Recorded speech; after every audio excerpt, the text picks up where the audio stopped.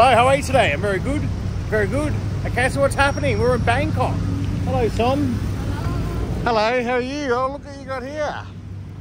So we're just in Bangkok making some videos for the food channel, but uh, we won't bore you with that. What we're going to do is, don't know yet, we're going to do something in Bangkok today. Uh, this afternoon we'll be catching up with uh, Eric and uh, and Ying, so it should be good. So we're just at Silom. Uh, what are we going to do now, Tom? We go make video for cooking channel. Pork. Yes. Alright. Pretty much free this afternoon now. Um, done all the uh, all the cooking videos.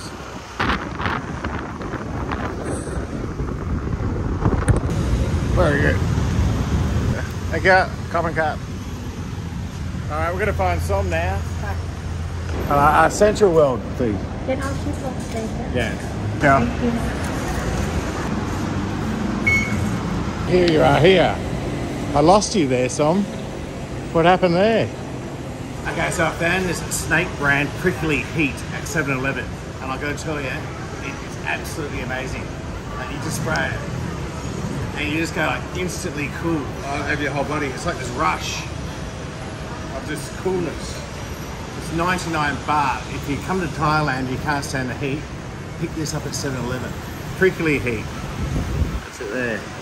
And I'm not being paid to say this either. Even Som's getting into it. Get into it, Som, huh? Oh, yeah. It's good, isn't it? I'm going to buy leases of it. So can you feel it now? It takes about it takes it takes about one minute to kick in, and then you just feel this. I'm feeling it right now. This. That just gives you an idea how many shops here at Central World. We go find title of Manchester United shirt now. Is that right? Manchester United. Okay. That's it there. Is that big enough, you think? Thinking that now, son, are you? That I think that here probably. I don't know. He wanted a football jersey. He's already got a football jersey, though, hasn't he? Yeah, get him that. Something different. He can wear that when it's getting cool for school. Wear it to school. All right, yeah, get him that. How much is that? 3,000 baht for that. Uh, they don't miss the old Manchester, do they? 3,000 baht for a kid's jumper. Oh. Uh, they don't miss the old Manchester. Get him a Liverpool one. No. Oh, What would happen? Would he cry? He probably would. I don't know. I cannot say. He probably would. Maybe some people like Liverpool. Zara, this is where it starts getting dangerous here. Whoa, are you happy now, son? Zara? Huh? You're home now. Singdon, hello. There's a H&M. Listen. Look at this. This H&M store is so big, they've even got a, a coffee shop in the middle of the H&M store. And I'm not joking. This is all one big H&M store. And it's just huge. It goes all the way down there. And can you believe it? They've got a, a coffee shop. Oh, here's this robot again. Hi. So here I am at Shake Shack again because last time I actually ordered the wrong burger, I was, I was told. I was meant to get the classic. So we're going to get the classic. And I'm going to get it a one bite, one opinion. Som got that. There you go. That's your hot diggity dog. Hot dog. You love a hot dog. And this is it. So this is a Shack Shake double. This was 340 baht, which is pretty good value actually. Okay, down here for one bite. See if it's better than the last one.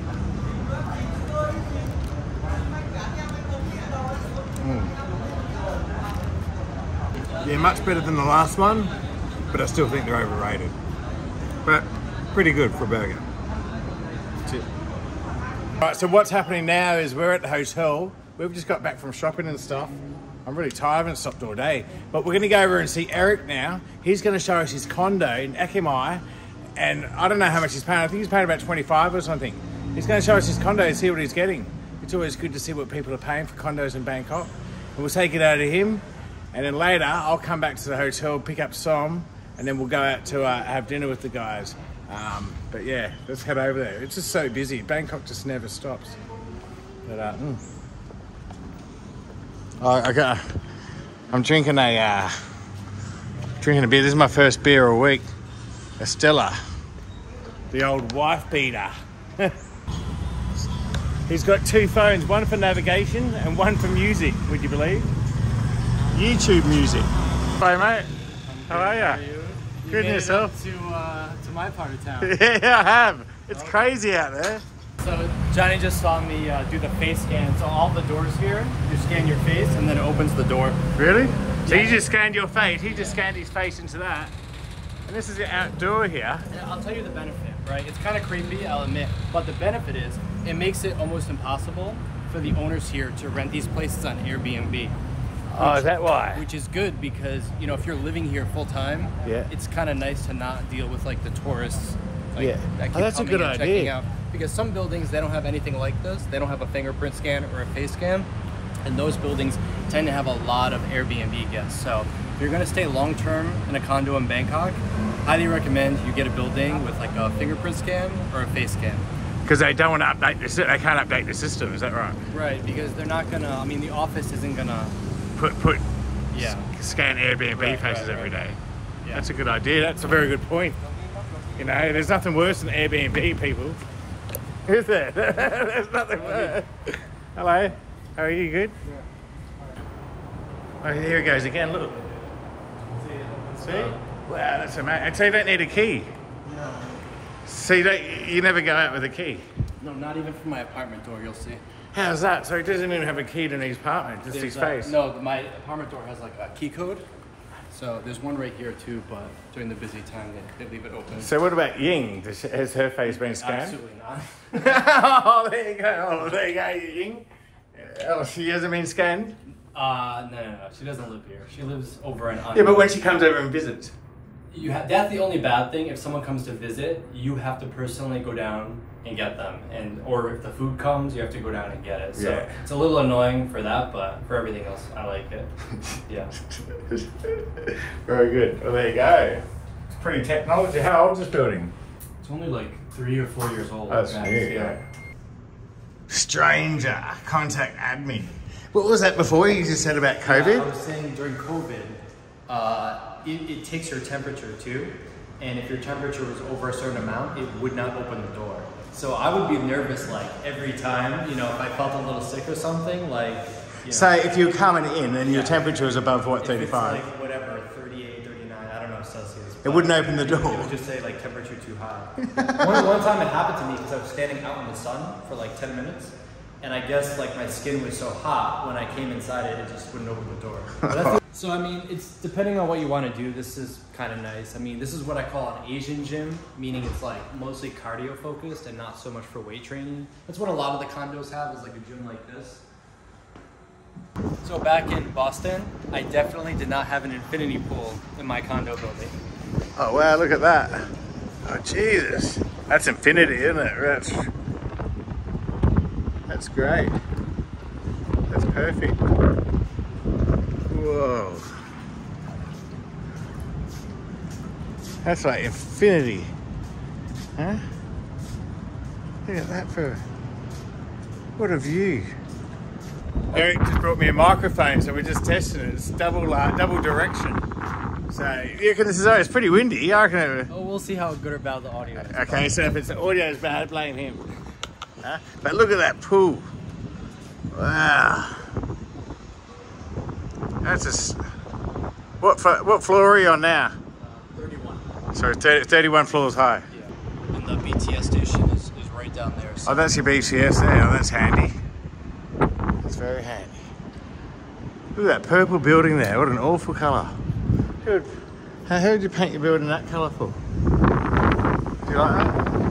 Do you like that colour? I do not That- that's, the most horrible, most disgustingest colour I've ever.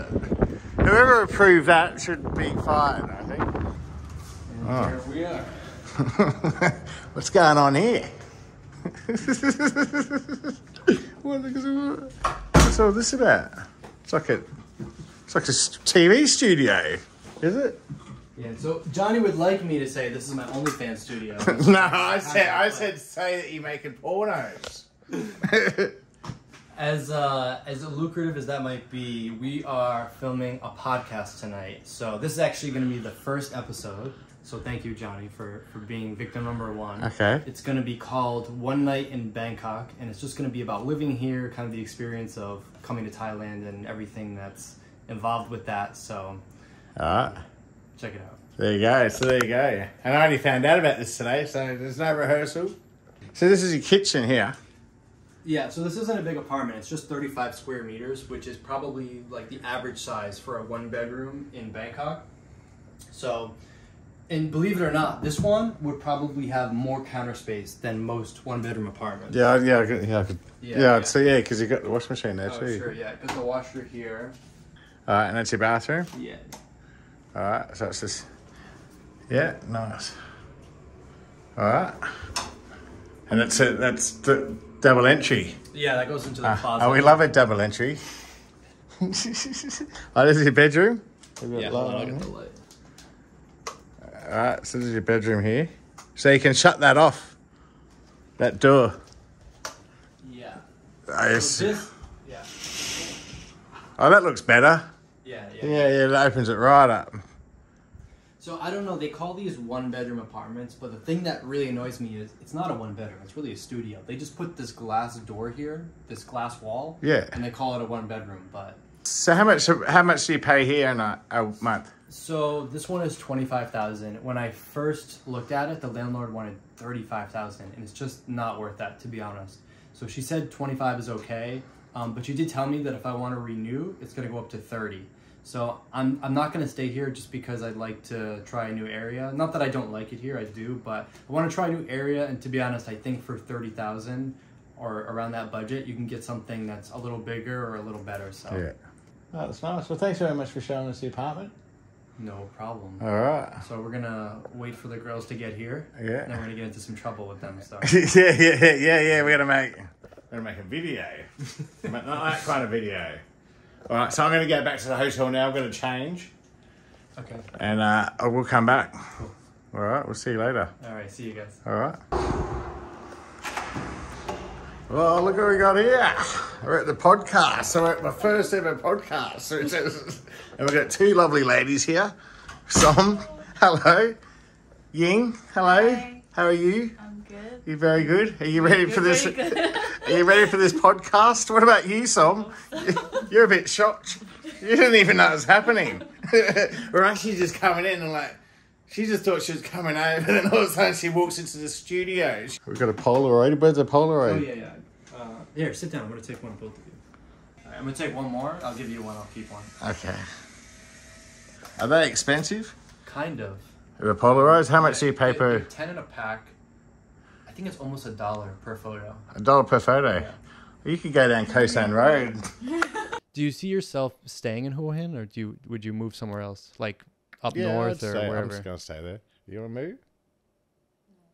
If I was gonna move out, I'd move to Bangkok. I feel like I get bored easily. Like I don't think I could stay in a place for. Yeah, I'm years. used to it now. I'm Like I'm 40, 44.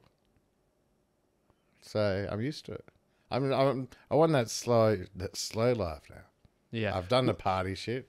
So what do your what does your family think of you coming out here? Because I know, like for me, my family hates it. They th- they when I first came here, they thought it was the weirdest thing. They thought it was like a phase.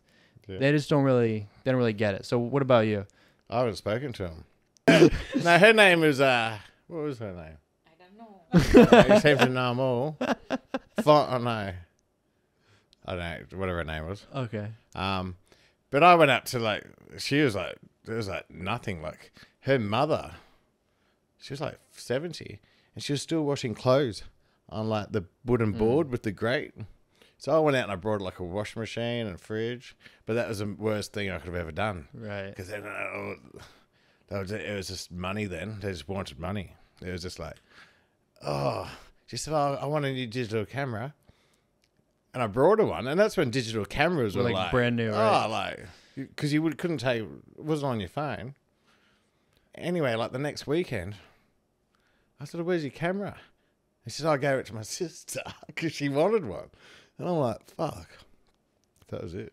That is a weird situation like foreigners have because you want to give gifts sometimes, Yeah. want to be nice, But then they take but advantage. yeah, that's that's kind and of the that's problem. what I and that's what I hate is trying. As soon as that happened, I went right. Well, you're pulling the piss now. Like I was trying to help. Yeah, yeah, yeah. You know, you've you've got to help, but then you also you can't be taken advantage of. Okay, so what's happening? Well, not much, not much. We're just driving back from Bangkok to Hua Hin. Som, what's happening? My accelerator cable's broken. And I said to the mechanic last week, it's sticking. There's something not right with the accelerator cable. Can you please check it? Obviously they didn't. And what do we got? We've got a broken accelerator cable. So we're just waiting for a tow truck now, who's coming to pick us up. Where at, where are we? Samut Sakhon. And we're going to catch, get a tow truck to take us back to Hua Hin. I'm going to throw this car at the mechanic's driveway. So yeah, roadside problems. We're not going anywhere. Okay, it's seven o'clock. We've just got back to Hua Hin.